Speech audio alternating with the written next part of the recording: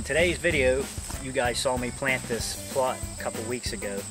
Um, a neighbor guy uh, of mine, he's up in age and he's pretty much quit farming back here and I asked him if I could plant a plot for him and uh, that I could hunt over to with my child.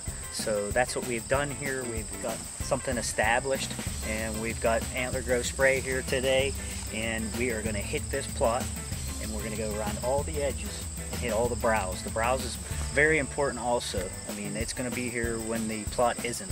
You know, when this gets frosted off and stuff starts to die, I've got some, some winter wheat and winter rye in here and, and some clover mixed in, which will stay there until uh, next spring. So we're going to get to spraying. Stick with us. We've got some uh, straight nitrogen urea we're going to spread on the exterior of the plot. We don't want to get that into the plot incorporated with the antler grow because it'll be too hot and it'll burn it.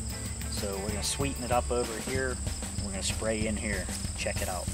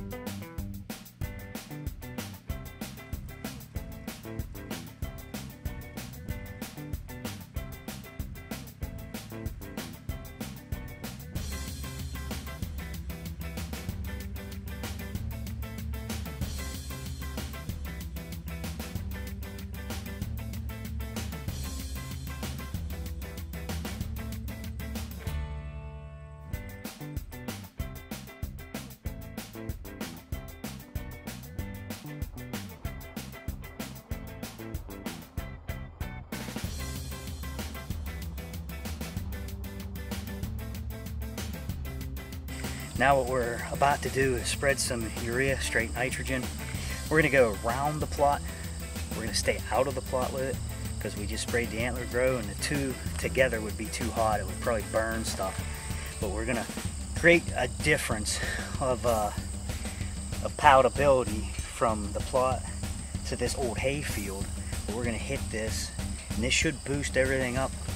And we're gonna just do a little test here, see what it does. We're gonna it'll make, like I said, it'll make a difference. And uh, we'll see what it's, see what it comes out to be. I'll update it later.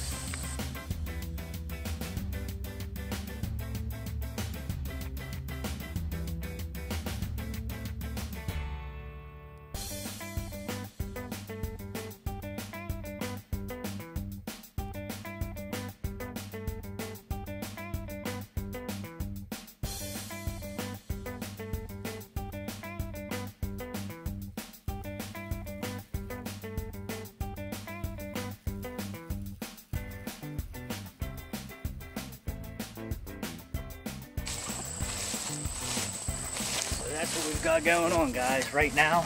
Like I said we've created a difference. You can see the break here of the edge of the plot hit it with nitrogen. We're going to test it see what it does see if this pops up higher and rejuvenates this old hay field. Uh, in the meantime we've got antler grow on this and it's going to continue to feed it well into the fall.